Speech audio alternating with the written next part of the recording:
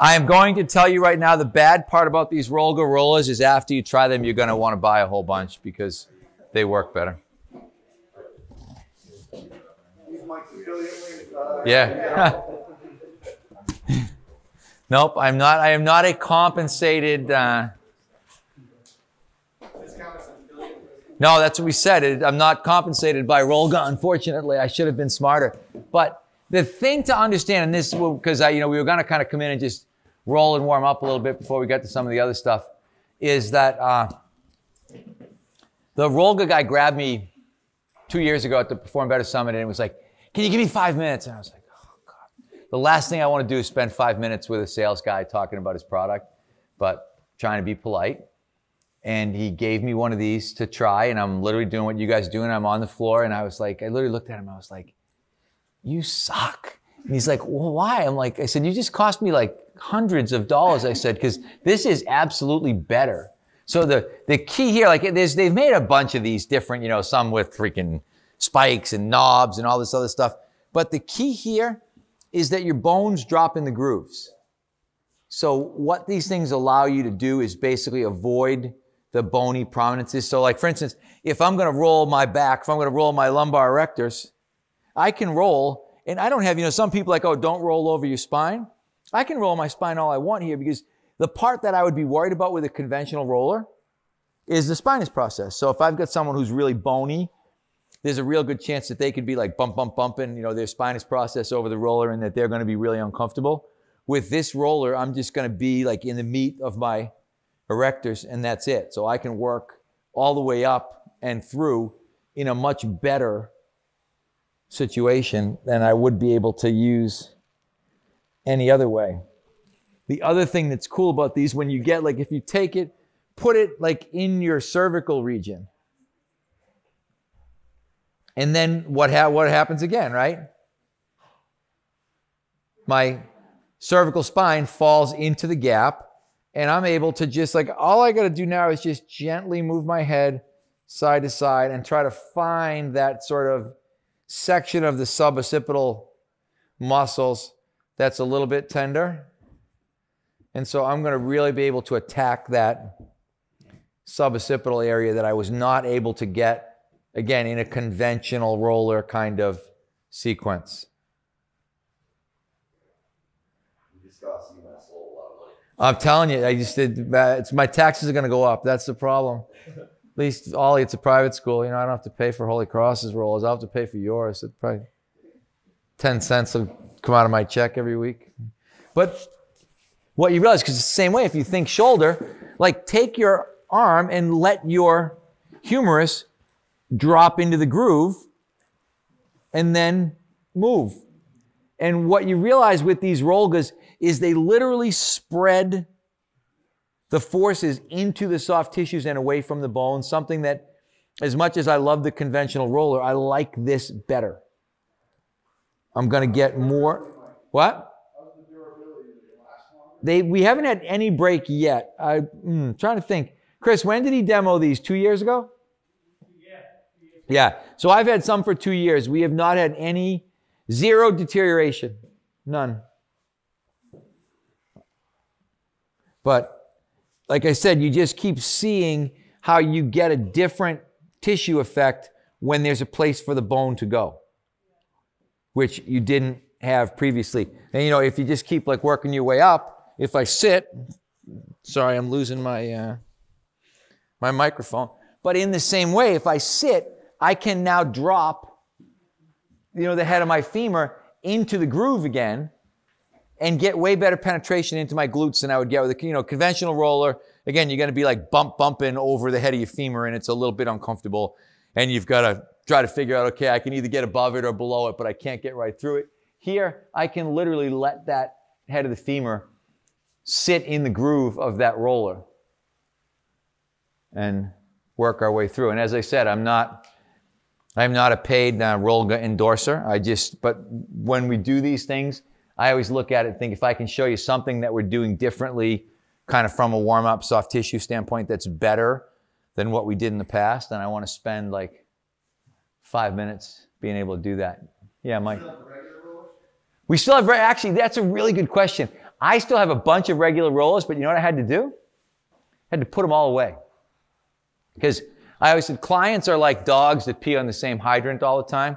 And so you can't get them to change anything unless you take away what they previously used. So we, at first, we put out these ones. We said, oh, these are way better. And everybody's response was, no, they're not. They hurt much more than the other ones. Where are the other ones?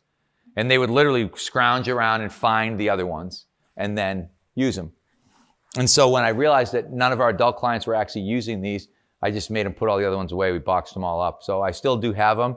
And what I've actually done so that it doesn't really go to waste is um, we give them to our athletes. Like, so if I have kids like who need them for, you know, for their bag, for practice or whatever, because I mean, I'm, the regular roller certainly works fine.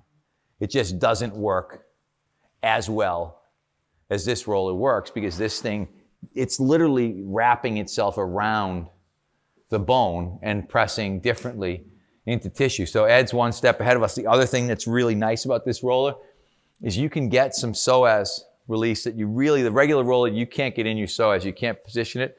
Try to think. So here, if you find your iliac crest, put that roller so that your iliac crest is dropping into the groove. And then here, you don't really have to do anything except lean.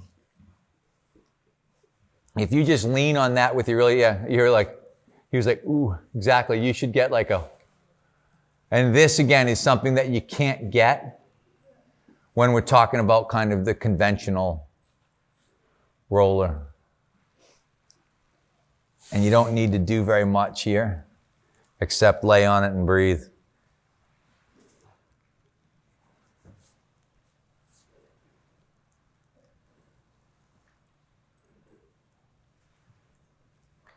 And interesting, like if you've done, like I know Jeff, you've done some of the RPR stuff. You know, what I've tried to do is attack a lot of the same RPR kind of points. So the other one you can get that the RPR guys like is sternum, and you can get the same sort of effect on your sternum that you would get. And again, it's significantly more comfortable because you end up really getting the sternal fibers of your pecs. So a lot of times for us, we're going to think psoas, kind of posterior hip, posterior shoulder, suboccipital, sternum. Those are going to be the biggies that we're going to try to hit every time. But depending on how much time you budget these again you'll get better if you think about quads again you can lay your quad and what you'll realize the central groove is a little shallower so you want to use kind of the distal grooves but if i think here if i just drop that like i let my femur drop into that groove again you get quite a bit of penetration into your quadricep again a lot of times here you don't need to do much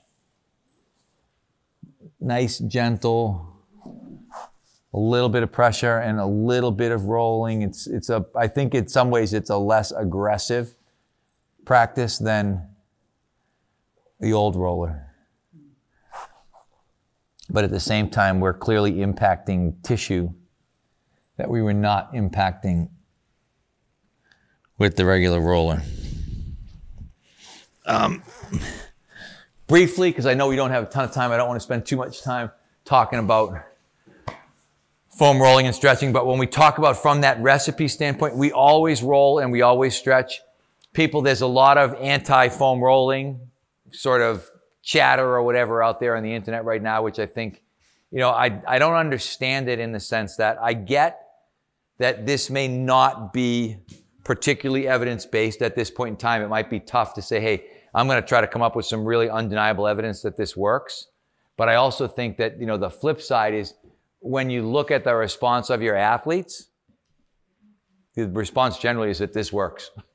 It's very rare that you expose people to foam rolling who don't continue to do foam rolling. So much the same way we stretch. There's a lot of anti-stretching people that are out there. I will tell you that I, I am a strong believer from an injury prevention standpoint that stretching matters. I have no problem with stretching prior to workouts. I have no problem stretching prior to strength work. I have no problem stretching prior to power work, provided you provide a better bridge into those activities. Yes, should I go from holding a 30 second static stretch to trying to do a measured vertical jump? No, probably shouldn't do that. Or, I mean, I still don't think anything bad will happen. I just don't think your vertical jump will be as good. But I think you can't be as worried. I think there's a lot of people out there, and this is what I, we talked about the filtering idea, who are saying, don't do this, don't do this, don't do this.